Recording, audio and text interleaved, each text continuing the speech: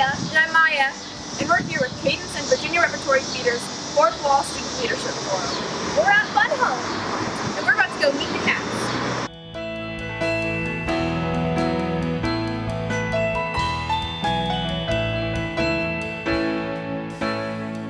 Hi, I'm Violet Crackenway and I play Small Alison. Hi, I'm Elizabeth Wild and I play Medium Alison. I'm Becca Ayers and I play Alison. And we all play the same character. I play present day Alison, looking back on my life, and these two play me as a medium person and me as a small person. What are your guys' opinions on what a musical and story like Fun Home does for the LGBT community?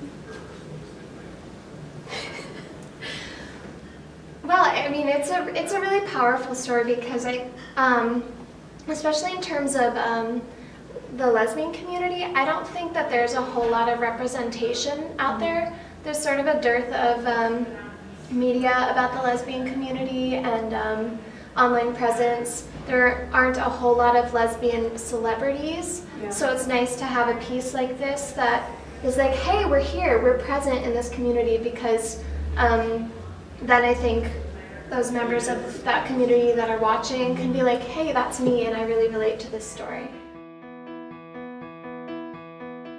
We were all talking about like the actual Alison Bechdel because it's based on her graphic novel. She is a um, She's a real person. She's a real person.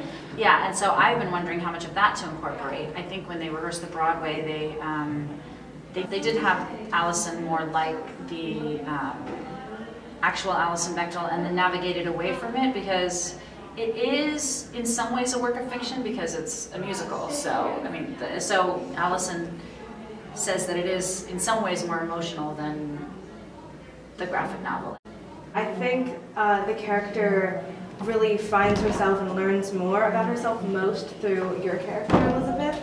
So, what advice or what would you hope the young adults or teenagers questioning their sexuality and going through that, what do you hope they take away from the show?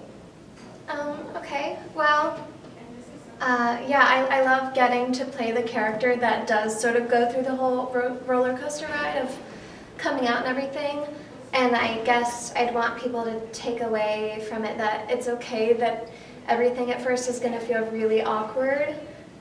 Probably, I mean, maybe you're really smooth, I don't know, but it's okay that it's it's an awkward experience. What makes Fun Home such a unique show?